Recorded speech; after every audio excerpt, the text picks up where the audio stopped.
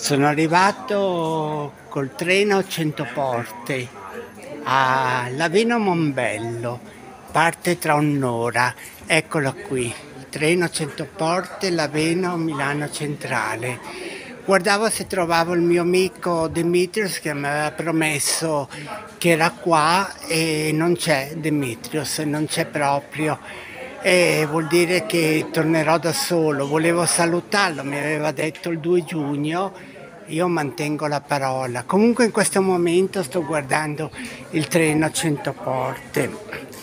Già anni indietro, poi l'ho visto pure quest'anno a Brennalzate. Sono qui al, al treno 100 porte e si può salire? No, c'è tempo un'ora Comunque mi interessa il passato, eh, la partenza di questo treno e devo dire che sono in questo momento ad ammirare il treno a vapore come una volta era più senso di umanità. Salivano le donne del tempo passato sollevando la gonna lunga e facendo i gradini. E poi bastava un fazzoletto per salutare la persona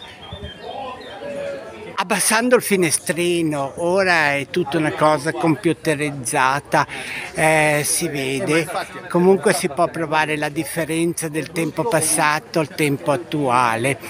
Io tornerei indietro nei tempi perché mi piace di più il vivere di una volta, comunque accetto anche la modernità perché si possono fare tante cose in questo momento moderno che siamo nel 2024.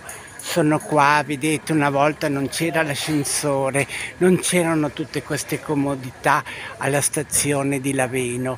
Ora sono qui ad ammirare questo treno 100 porte, denominato così, che tra poco parte vi saluto da questo YouTube di Laveno Mombello.